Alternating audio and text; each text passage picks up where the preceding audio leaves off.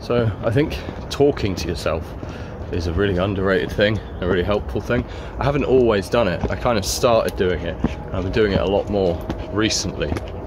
Um, I never did because I thought, well, whatever it is, I'm. I, I don't mean out loud, by the way, in my case, although it's fine to do that as well. I guess I would just feel a bit weird doing that.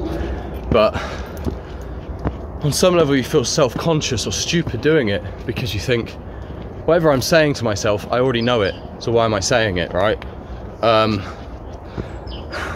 that's how I always felt anyway. But there's something to be said for having it put in, in, in the forefront of your mind in concrete terms. So you can kind of know somewhere in the sort of murkiness of your mind, like, okay, this situation isn't too bad. It'll get better. It'll pass eventually. You kind of know that, but that's just swimming around with all your other thoughts. It's just in there and it's kind of a mess. And it's just going to kind of float away into the fog of your brain and you won't really have a sort of prominent awareness of it. But if you say to yourself in your head during a situation, you say, like, this will be fine, it's not a big deal, this situation will pass soon, it's okay, don't get too stressed about it. You've just like written it down, you've just uh, showed yourself it on a piece of paper. It's as though somebody else has said it to you. It has like an echo, it has a reverberation. That thought actually lasts some degree of time, you know, um, and will will do something for you. It won't just be forgotten instantly. There's a lot of research about, uh, for example, things that you're worrying about. You write them down, you you worry a lot less because you you feel that it's written somewhere. So it's kind of being dealt with. Some action has been taken.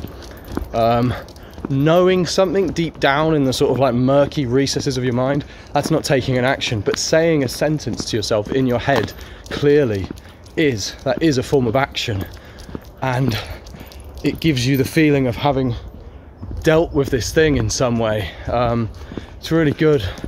And the more recently I've been reading like Stoic philosophy and stuff, I've uh, I found it very useful to, to, yeah I mean just to say those types of things to myself in my head um, it's really powerful it really is like it's uh, it's kind of more powerful than you can imagine I've, I've had times you know situations have arisen where I have a sort of oi stop it I have a sort of uh, bodily stress kind of reaction to something and just saying something like that in my head really helps to uh, to like calm it down. I think it's a really good way to organize your thoughts and to also promote a kind of relationship with yourself that's quite positive, like uh, like like your conscious mind being a person that kind of looks out for and supports and encourages the kind of uh,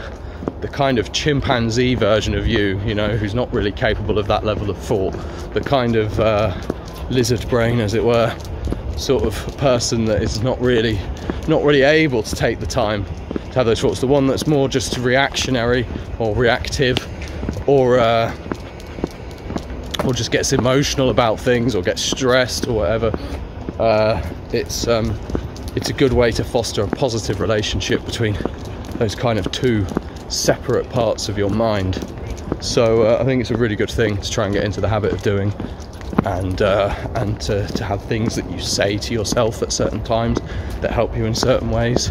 It's a really good way to reaffirm the best parts of your own kind of philosophy on life to yourself.